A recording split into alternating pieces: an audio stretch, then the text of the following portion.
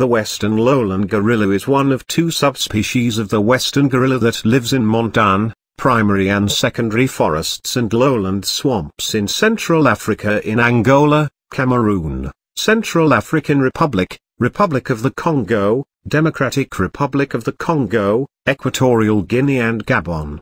It is the nominate subspecies of the western gorilla, and smallest of the four gorilla subspecies.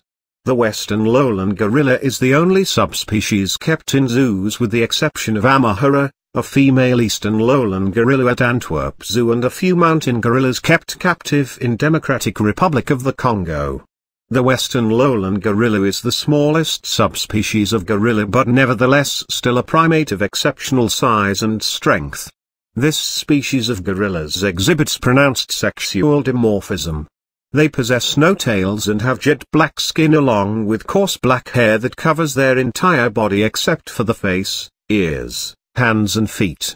The hair on the back and rump of males takes on a gray coloration and is also lost as they get progressively older.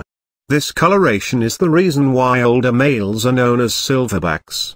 Their hands are proportionately large with nails on all digits, similar to that of a human's, and very large thumbs. They have short muzzles, a prominent brow ridge, large nostrils and small eyes and ears. Other features are large muscles in the jaw region along with broad and strong teeth. Among these teeth are strong sets of frontal canines and